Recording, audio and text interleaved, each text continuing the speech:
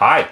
This was going to be a mail call video where I open up packages that people send me. However, the video file got corrupted and I can't reproduce opening up the package. So this is a modified mail call where you don't get to see me open up a package and throw all the paper on the floor. This is just talking about what came in the package because I can't resurrect the corrupted files. Recently, I was contacted by a guy named Roger. Roger lives in Texas and he bought a house in Texas and it had a Music and Sound MC602 system in it. They decided that they were going to renovate the house before they moved in and they decided that they didn't want to keep the intercom system. So he's a viewer of this video of this YouTube channel and he contacted me and said if I wanted it at all, he would send it to me. And I said, sure, why not?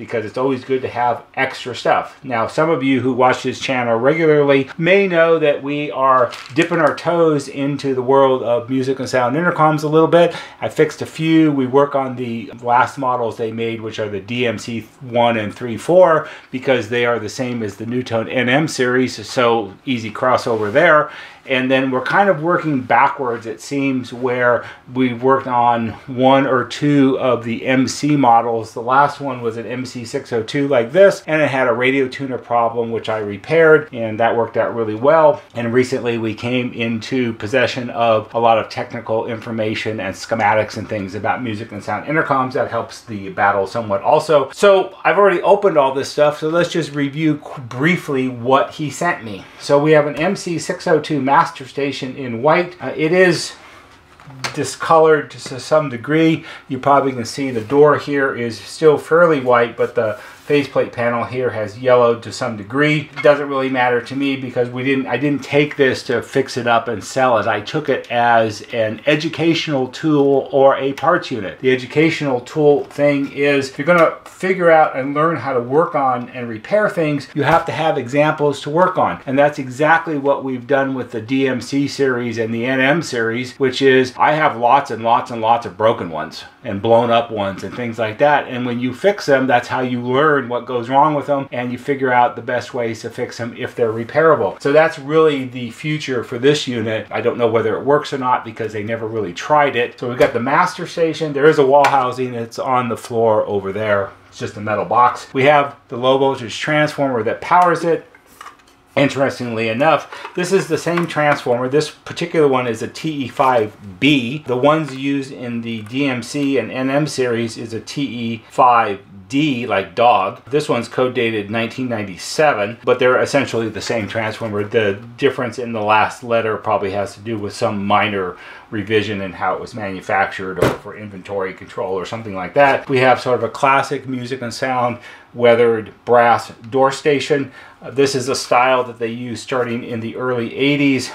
The models in the early 80s had a big square push button down here that was a bad design because there was a lot of gap around the button and the switch on the back would get wet and corroded and that was all bad. So this has a more conventional doorbell push button and it's got the classic music and sound 45 ohm 3 inch speaker cone on the back.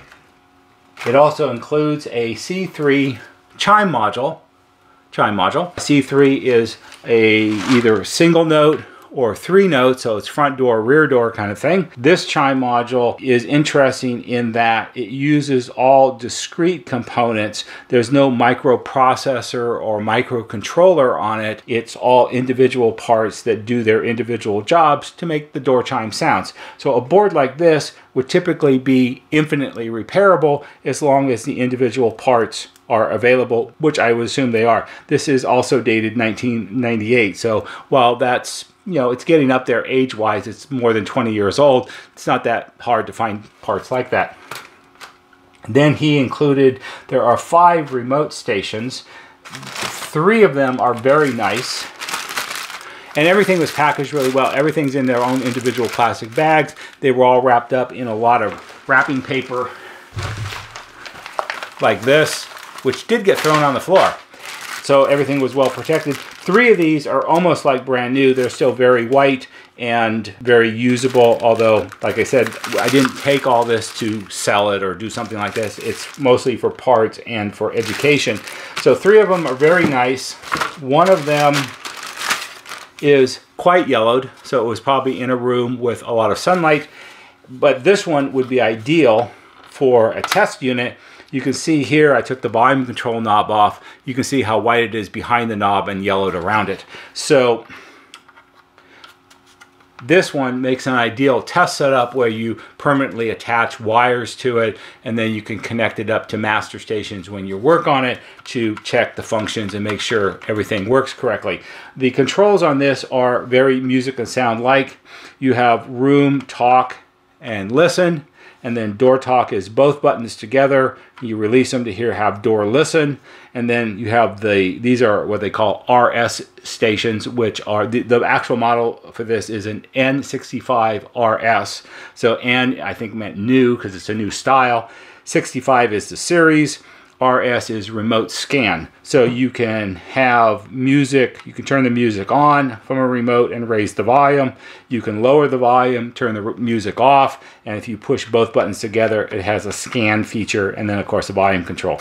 So this one is ideal for a test setup because it's already weathered and worn and I don't care what it looks like, I don't care how it functions. So that's a good use for something like that. There's also this one which all the labeling is missing. The knob, the button caps are all rough, like somebody sanded them or ground them down. I don't know what they did. And the openings, I don't know if you can see very well, around the buttons are all irregular and kind of wonky. And I think actually this has been painted. It's got some blue paint on this side on the edge where it sat against the wall. And it is an inside station. It's from 1998 also. And I have a feeling that someone painted this blue to match the wall color. And then maybe when they put the house up for sale, that oh, that's not going to fly. So then they did something. I don't know how this happened, but they painted it white to make it match. So this would also be a good test setup because again, don't care what it looks like, only care how it works. So we have those. And then oddly enough, or maybe not, we have one of these. So this is actually a music and sound station. This is a model DMC4RW. It's a patio or outdoor station because the control board here is inside this plastic box with a gasket to keep the water out of it. And this included an adapter kit. And I, what I would surmise is that the system originally had an outdoor patio station like this, one of the large ones, and it failed because it's outside, and that's what happens. So this is from a DMC3-4 system, and why you think that may be a problem, it's not, because this is interchangeable with this, and if you have a if you have these in your house and you were to install a DMC34 in place of the MC602 because it died or something, they're completely compatible. The controls are the same. The button layout is a little different, but how they operate is the same. And Music and Sound actually says they're interchangeable one way or the other. So it's a good solution. You have the same controls here. You have talk, listen, door talk, both buttons on, off, music volume, and scan. The problem with this has always been, in my opinion, so if you take one of these and you want to do door talk, you have to push both buttons together at the same time. But since the button caps are long and rectangular and right next to each other, you just put your finger in the middle and press, and that's easy. The problem with these are, these buttons are round, they're like dome shaped, and they're spread pretty far apart. They're probably 3 eighths of an inch apart and you can't and I have big fingers and I can't really push both of them at the same time with one finger which means you need two fingers one on each button and you have to press them like this and that's a total pain in the neck people have a really really hard time with that because it's hard to get them it's hard to push them both at the same time. It always seems like it's like one and then the other, and that doesn't make the system work correctly. So not a good design in that respect. So the way this worked was when you bought this, you would buy the adapter kit. The metal plate attaches to the wall box that's in the on the exterior of the house, and then you put the trim plate over it like this, like this, and then the speaker sits in the middle of the trim plate, and that gives you a new outdoor patio station. In my opinion, although these look very jazzy and people like them, oh, they're so small and cute, it's the size of a double light switch plate, so they're not very big. They have, again, I've talked about this in other videos, these little tiny wimpy speakers on them, whereas these stations, have a more traditional 5-inch round speaker cone. So these have better sound than these do. I'm not a big fan of these. But that's what's available. And if you need one, you need one. There you go.